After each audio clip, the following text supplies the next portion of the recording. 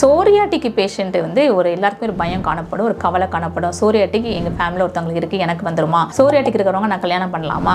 Psoriatic பிறக்க போகிற என் குழந்தைங்களுக்கு வருமா? அப்படின்னு நிறைய கவலைகள் நிறைய மனக்குழப்பங்கள். பதினெட்டு வருட சோரியாட்டிக் பேஷண்ட்டோட நான் இருந்த அந்த எக்ஸ்பீரியன்ஸில் உங்களோட நான் ஷேர் பண்ணிக்கிறேன். ஹலோ எவ்ரி ஒன் நமஸ்காரம். என் பேர் கலா.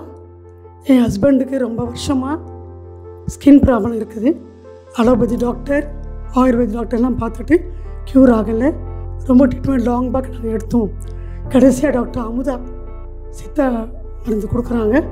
அவங்ககிட்ட வந்த பிறகு நல்ல இம்ப்ரூவ்மெண்ட் இருக்குது. அதே மாதிரி என் சன்னுக்கு லிவர் ப்ராப்ளம் இருந்தது.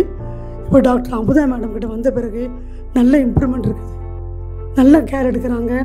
மேடம் நல்லா பார்க்குறாங்க நீங்களும் என்ன ப்ராப்ளம் இருந்தாலும் அந்த மேடத்துக்கிட்ட வந்தீங்கன்னா உங்கள் டிசீஸ் கண்டிப்பாக க்யூர் ஆகும்.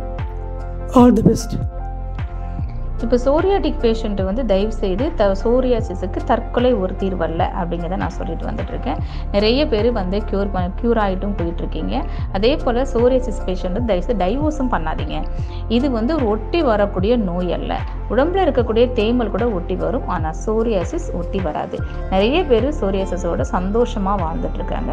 ஸோ தயவு செய்து டைவர்ஸ் பண்ணாதீங்க. அதே போல் நீங்கள் குழந்தைகள் பெற்றுக்கொள்ளலாம் அதில் எந்த ஒரு பயப்பட வேண்டிய அவசியம் இல்லை. நீங்கள் குழந்தைகள் தாராளமாக பெற்றுக்கொள்ளலாம் குழந்தைகள் நீங்கள் வளர்க்கலாம்.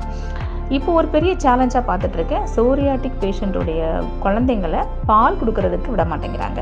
மதரிலாவாகட்டும் சொந்தக்காரங்களாகட்டும் அம்மாவாகட்டும் குழந்தைங்களுக்கு பால் கொடுக்க வேண்டாம் அப்படிங்கிறதையும் நான் பார்த்துட்ருக்கேன். நிறைய பேர் என்கிட்ட அதை ரொம்ப ஷேர் பண்ணுறாங்க தயவு செய்து சோரியாட்டிக் மதர் அவங்களுடைய குழந்தைங்களை அவங்களோட பால் கொடுக்கறதுக்கு அனுமதிங்க. பிரஸ்ட்டில் நிப்பிள்லையும் சோரிசஸ் இருந்தால் கூட பால் கொடுக்கலாம். ஆனால் ஃபீடிங்க்கு முன்னால் கொஞ்சம் சோப் போட்டு நல்லா உங்கள் நிப்பில் நல்லா வாஷ் பண்ணிவிட்டு மேலே உள்ள ஸ்கேல்ஸ் எல்லாம் நீங்களே ஒரு கோகோனட் ஆயிலோ இல்லை வெட்பாலை ஆயிலோ வச்சு நல்லா ஒரு ஒன் ஹவர் அப்ளை பண்ணிட்டு கொடுத்தீங்கன்னா ஈஸியாக அதில் இன்ஃபெக்ஷன் எல்லாமே சரியாயிரும். அதுக்கப்புறம் குழந்தைங்களுக்கு நீங்கள் ஃபீட் பண்ணலாம். ஃபீடிங் உடனே மறுபடியும் நல்லா அந்த நிப்பில் வாஷ் பண்ணி நல்லா ஹாட் வாட்டர் வச்சு வாஷ் பண்ணிவிட்டு அதுக்கப்புறம் கொஞ்சம் வெட்பாலை தைலத்தை நீங்கள் அப்ளை பண்ணி விட்டாலே குழந்தைங்களுக்கு எந்த இன்ஃபெக்ஷன் ஆகாது. உங்களுக்கும் எந்த இன்ஃபெக்ஷன் இருக்காது.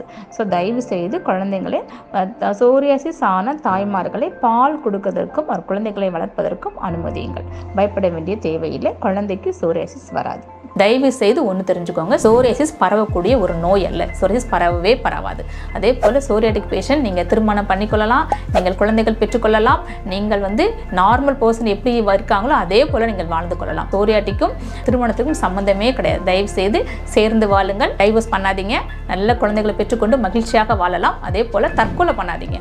சோரியாசிஸுக்கு அருமையான மருத்துவம் உண்டு. ஒரு மிக சிறந்த மருந்து சன்லைட் தான். டெய்லி சன்லைட்டில் வெட்பாலத்தை எடுத்து அப்ளை பண்ணிட்டு இருந்தாலே சோரேஜஸ் மிக எளிதாக குணமாக்கி விடலாம். அதனால் சோரியாட்டிக் பேஷண்ட் எல்லாருமே வந்து நார்மல் பர்சன் இந்த உலகத்தில் எப்படி சந்தோஷமாக வேலை பார்த்து கொண்டு திருமணம் பண்ணிக்கொண்டு குழந்தைகளை பெற்றுக்கொண்டு வாழ்ந்தார்களோ அதே போல் நீங்களும் வாழலாம். இது ஒரு எளிதாக குணமாகக்கூடிய ஒரு